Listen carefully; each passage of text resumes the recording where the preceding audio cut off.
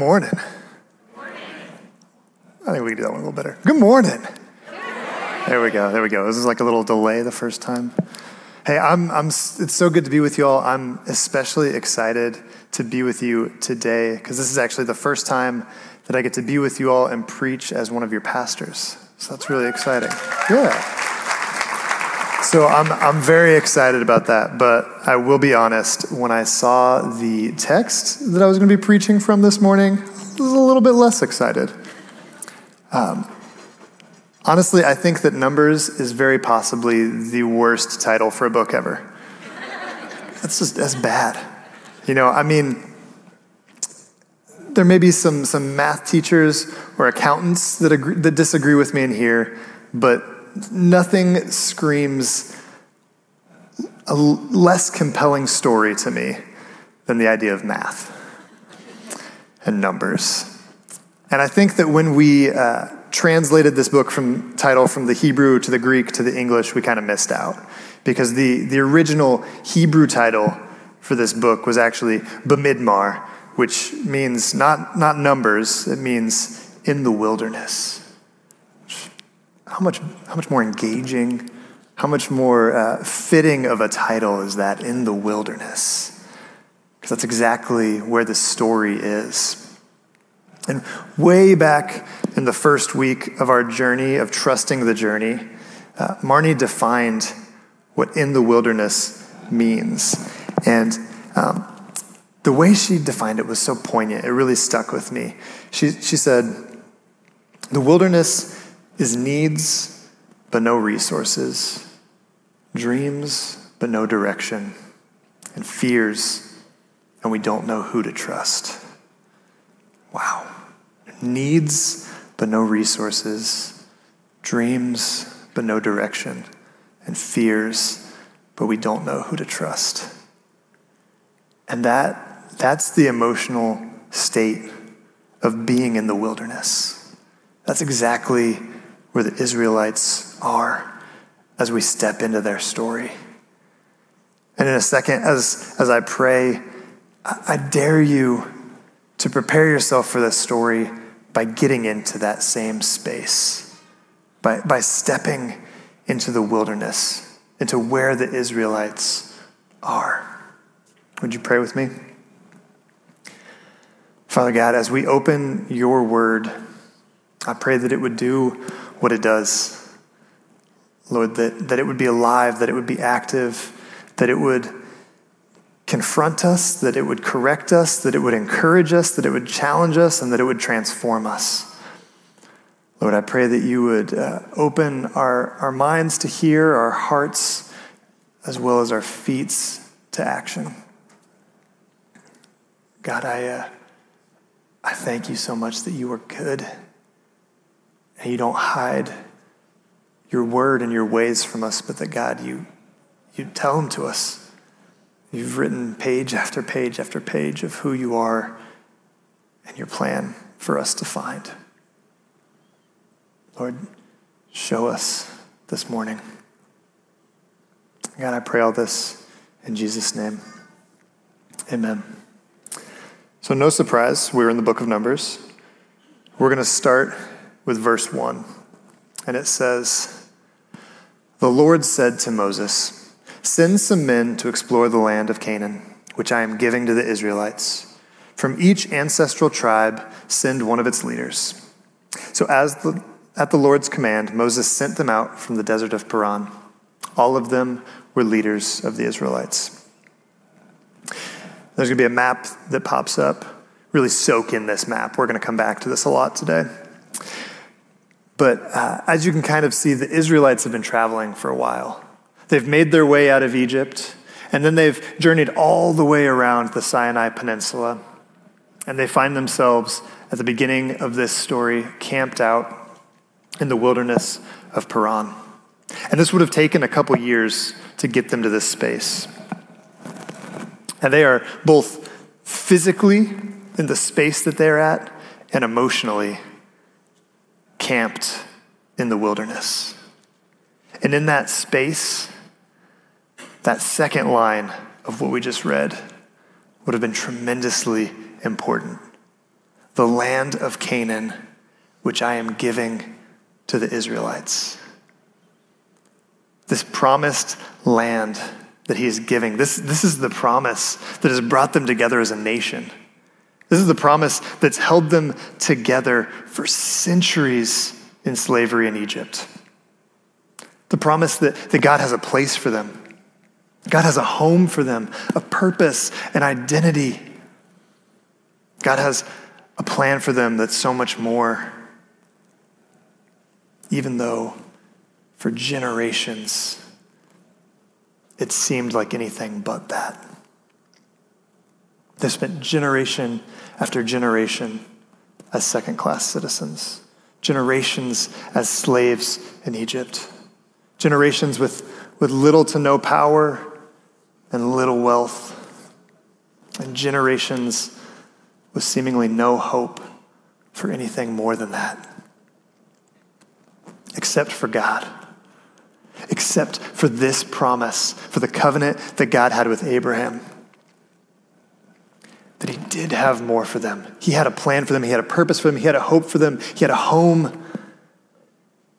And that's kept them together for centuries. And now, as we start this story in the wilderness of Paran, they're right on the cusp of that promise being fulfilled. They can, they, can, they can see it almost. They're just weeks or months away from being able to, to get into the promised land, to get to set down some roots, to have a home. I bet that they could almost taste the milk and honey of the promised land. You know, so much so that Moses, when he sends out the spies, he tells them to bring back some of that fruitfulness of the land. I think so that the Israelites could literally taste the milk and honey. You know, they're so close to all of these promises being fulfilled. And so God sends this team of scouts to check it out before they go and take that land. And we don't know from the text exactly what God's intentions were in sending out this scout team. But when Moses sends them out and he gives them their directions, we get a little bit more information about at least what Moses was thinking the plan was, Moses' idea of why they were sending this team out.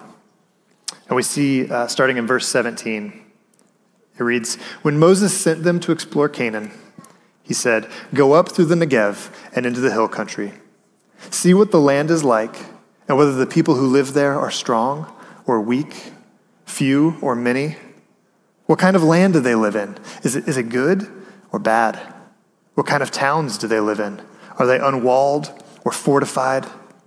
How's the soil? Is it fertile or poor? Are there trees in it or not? And, and do your best to bring back some of the fruit of the land, because it was the season for the first ripe grapes. Now, there's probably two main intentions and aims that Moses has when he sends out those spies and gives them those directions. He wants to gain some tactical info. He wants to know, okay, what's going on with these people that are in this land? What's going on with their cities? What are their defenses like? How strong are they? What's going on there? And then he also wants them to uh, get evidence of God's fulfillment of these promises, to bring back fruit, to go by these different spaces so that they can strengthen the faith of the Israelites in the wilderness, because we know that they're already struggling uh, chapter 11 and 12, right before this, we see that the Israelites are grumbling. And one thing that's interesting, we're going to see another map. Yeah, that blue arrow up there, that's going from where they're camped out in the wilderness straight into the promised land. So, this is the route that Moses sent those spies on. And you can see from it, there's major bodies of water on either side. There's the Mediterranean Sea, and then there's that big inland sea to the right. And Moses intentionally, tactically sends them on this because all those major cities would have been based around the water. So the spies are able to gather intel on all of them, but not get so close that they're in conflict with them. It also allows them to go through Hebron, which is a, would have been an incredibly meaningful space for the Israelites because that's where Abraham was buried. And it's where God first showed Abraham this land that is promised to his descendants, this covenanted land. So Moses, you know, he has this very tactical aim, and this is his plan of what it looks like. And part of where he does this route is because this is probably the route that in his mind, in just a couple months, this is the route that they're going to take when they take over the promised land, when they go in to attack and conquer the promised land. So this is kind of a test run. And so he sends them this way.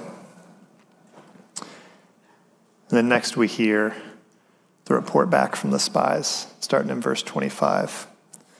At the end of the 40 days, they returned from exploring the land. They came back to Moses and Aaron and the whole Israelite community at Kadesh in the desert of Paran. There they reported to them and the whole assembly and showed them the fruit of the land. They gave Moses this account We went into the land to which you sent us, and it does flow with milk and honey. Here's its fruit. And so here we have the first part of their report. The land is just as good as we'd been promised. You know, maybe even better. It, it does flow with milk and honey. You know, these things that we've been dreaming of, our, our wildest imaginations, they're true.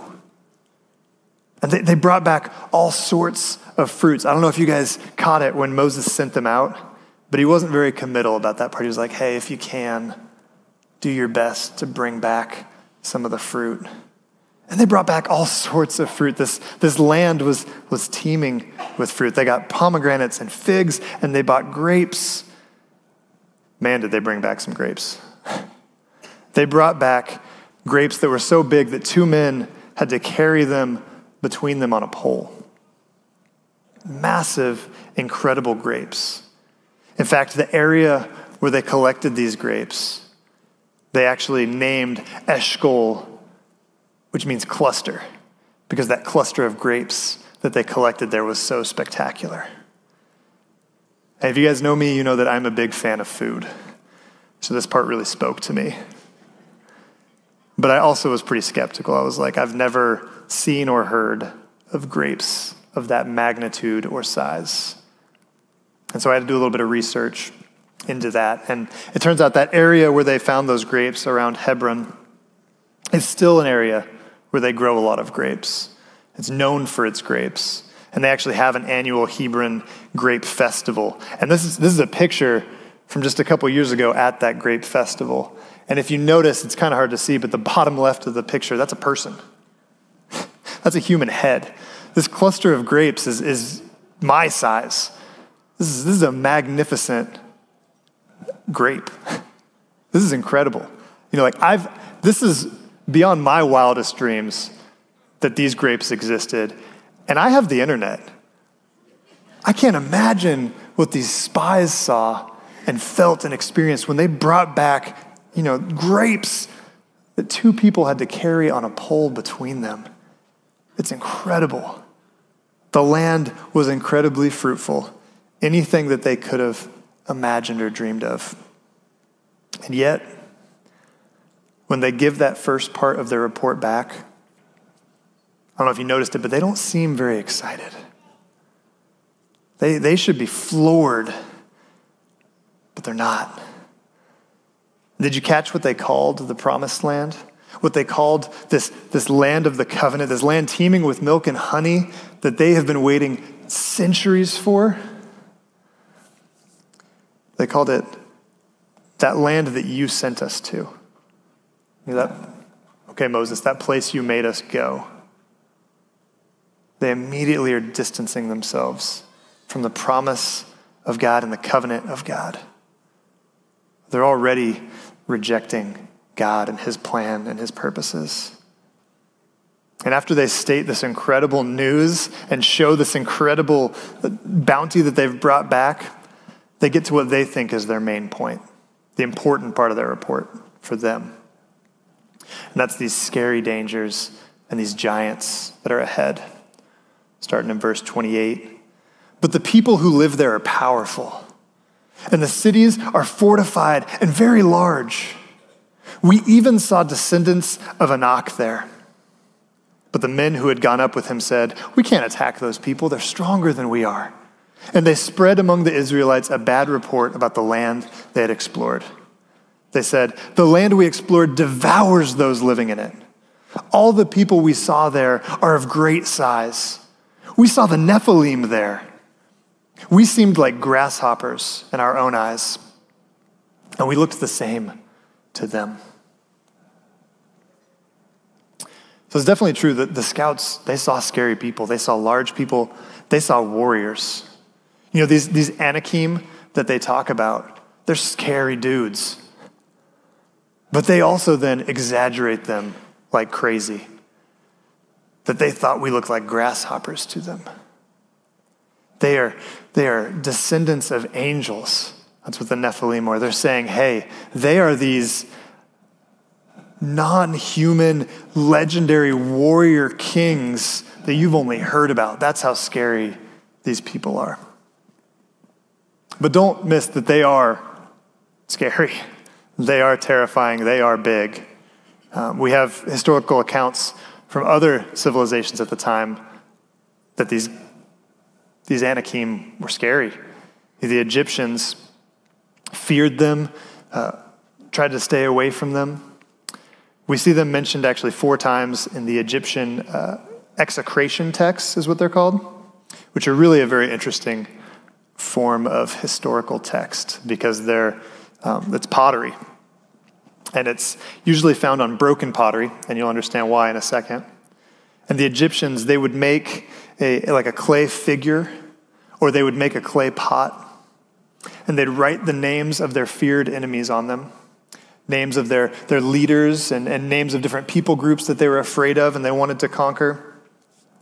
And they'd bake them, they'd fire them up, and they'd smash them like little Egyptian voodoo dolls. So we have these different references of the Egyptians making voodoo dolls of the Anakim. And you don't make voodoo dolls of somebody that you want to just go challenge and think that you can beat on your own. And these are the Egyptians. This is the nation that Israel just, was just enslaved by, a nation that's been around a very long time, that has a strong military. And they were scared of these Anakim. Not only that, they saw scary people, but they also saw cities like Jericho and Ai that had all these big walls. They were heavily fortified and they were well established. They'd been around a long time, they had their systems set up. Remember, in contrast, the Israelites, they don't have any roots. They don't have any fortified cities. They don't even have walls. They're a nomadic nation that's looking at fighting against all these traditional, established military powers. It would have been intimidating, it would have been overwhelming. Just looking at the cities, it would have been intimidating and overwhelming, let alone when they see the people in them could beat them up also. It's scary. And these spies had no desire to be part of those conflicts, to be part of those battles, to be part of those wars. So much so that they say that they're ready to turn around and go back into slavery. Or even that they're ready, they'd rather just die in the desert. The spies see what lies ahead of them. They take this report, they see the good, they see the scary, and they respond with fear and with doubt. And both of those reactions, they're understandable. I mean, the Israelites were just two years ago slaves in Egypt. They're not warrior people, they're not any sort of established nation. And, and from a human perspective, from the human lens, it all makes total sense. We understand that. Because they saw an unwinnable fight, they saw hopeless suffering. Ultimately, they saw failure. They saw probably the annihilation of the nation of Israel. This, this fragile thing in their minds that they had been protecting for centuries. To the human perspective, it totally makes sense. But God, God doesn't look at the world, He's not limited to our human perspective. His view, his plans, his ways, they're, they're so much higher, they're so much better. And the, the nation of Israel, these spies that have been sent, time and time again, they'd been shown that. They'd been shown that God had a plan, that He had a purpose, that He had a hope for them that was more than they could imagine. That when God says that He's going to do it, He's going to do it. He's going to make a way. So often we fall into that same trap. But the Israelites here, they're only a couple years removed from the miraculous happenings of the Exodus, of being liberated from Egypt, of being uh, swept through the sea of a pillar of fire. They've seen so many things already that were so much bigger than that, what they dreamed. As we go through the story of the Exodus, no part of it would have been like, oh, yeah, yeah, that's the plan. No, they kept seeing God go, I'm going to do something new. I'm going to do something that you never thought about. And yet, they respond in doubt and fear. And their lack of faith is a clear rejection of God. It's a clear rejection of the covenant and the promises that they've made with Him and that He's made with them. I think it's fascinating that when the spies return uh, and give their report, we don't see any argument about the report itself about, about what's in it, about the truth there, which there certainly could have been argument about it because they're saying, hey, these people that are in this land, they're mythical angel beings. Like, you could have definitely said, like, well, maybe you got any proof on that? They take this incredibly good report and they take these scary things exactly as they're presented, but the responses are different. The vast majority there responds out of fear and responds out of doubt. Out of the 12 spies, we only see two of them respond in faith. Caleb and Joshua are the only ones that take that report and respond in faith. And it's easy for us to look at the Israelites and be like, man, how could they do that? They've seen so much, they've been part of so much of what God had for them. They've seen miracles. But throughout history, we continue to do the same thing. We continue to forget. We continue to respond out of doubt, out of fear. The Apostle Paul calls out the church in, in Corinth in 1 Corinthians because they'd forgotten this le- lesson. Referring to the Israelites in this story, he says, Nevertheless, God was not pleased with most of them. Their bodies were scattered in the wilderness. Now, these things occurred as examples to keep us from setting our hearts on evil things as they did. It's a powerful reminder then, powerful reminder now. Because any point in history we can look at and see that we let fear, we let doubt, we let scary things, we let anxiety lead us to not respond in faith. Just this week, I was listening to um, a modern theologian and, and British biblical scholar called N.T. Wright. And this week, he, was, he felt the need also to talk about this story in Numbers and about how often we tend to respond out of fear instead of out of faith. And I, I thought about trying to read the quote out, but I think it's better in his British accent, so I'll just let him say it.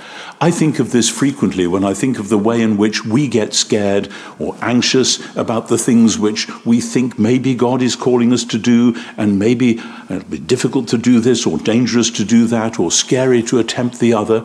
And again and again, the word we need to hear is the word which says, actually, not only can I enable you to do this, because this is what I've called you to do and equipped you to do, despite what you may, may imagine, but there are much greater things out beyond. And if you follow me and if you're faithful to me at this moment in this way, then much greater blessings than you can imagine will follow from that. Throughout history, time and time again, God has bigger plans than we can imagine from our human perspective. But on top of that, He gives us so many chances to respond in faith, to be part of what He's doing. As a church, we've, we've been in a wilderness period. We've experienced that emotional state of wilderness. Some of us are experiencing that state. As individuals, we've all experienced that. We've all ex- seen, have, and will have scary, insurmountable seeming giants. And we need Caleb's and Joshua's. We need those who are going to respond with faith in the face of those scary things, in the face of those giants.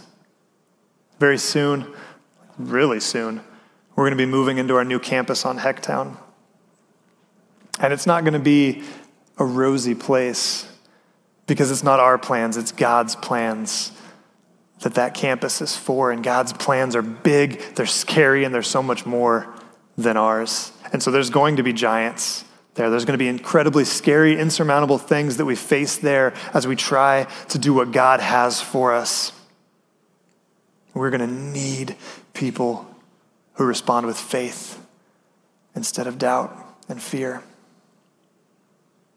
We need that. But notice I said we will need, not God will need.